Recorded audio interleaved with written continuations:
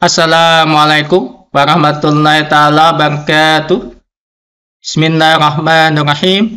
Alhamdulillah jumpa lagi dengan kami yang sudah mawam. Pada kesempatan kali ini, video yang kami sampaikan informasi singkat mengenai bagaimana dengan status single salary gaji tunggal ASN tahun 2024. Sumber berita atau informasi yang kami kutip antara lain https willy.dpr.go.id dan dari sipil aparatus polisi brief Badan Kepegawaian Negara tentang kebijakan sistem penggajian pegawai negeri sipil, desain gaji dan tunjangan oleh Ajib Rahmawanto Agustus 2017. Bisa nanti teman-teman download di bawah deskripsi video ini kami cantumkan linknya. Kita lihat berita yang dari dpr.go.id dengan judul Gaji Tunggal bagi PNS harus dikaji. Berita dimuat pada tanggal 14 September 2023 oleh Komisi 2. Mohon izin kami bacakan sebagian beritanya. Sehingga Selngi tak gaji tunggal untuk pegawai negeri sipil atau PNS kembali mencuat.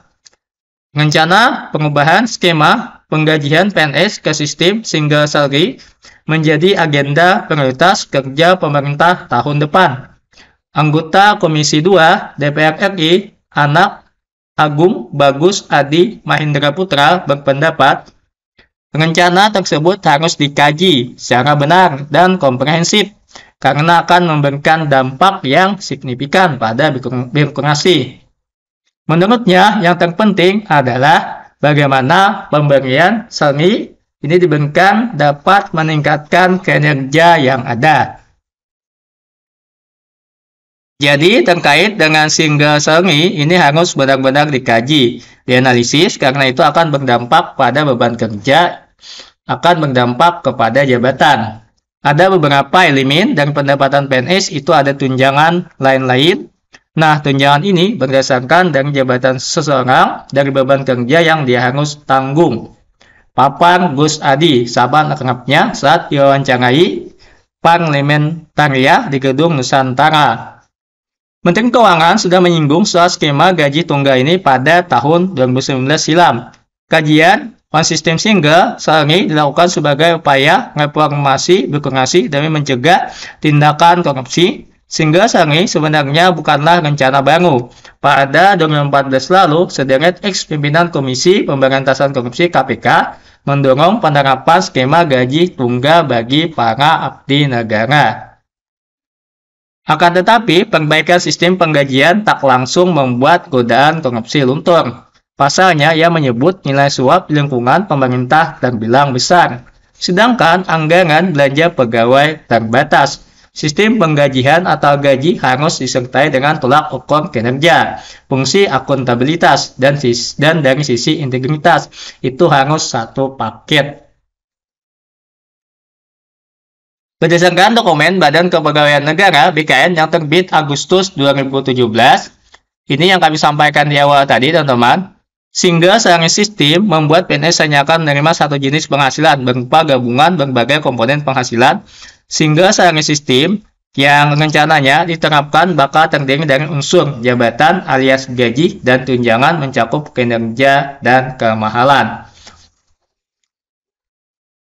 Ini teman-teman artikelnya yang tahun 2017 dari BKN dibuat oleh atau ditulis oleh Ajib Rahmawanto dengan judul Kebijakan Sistem Penggajian Pegawai Negeri Sipil, Desain Gaji dan Tunjangan.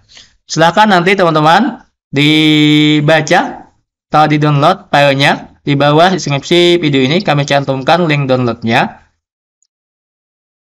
Di sini juga ada terlihat ditam ditampilkan tabel gaji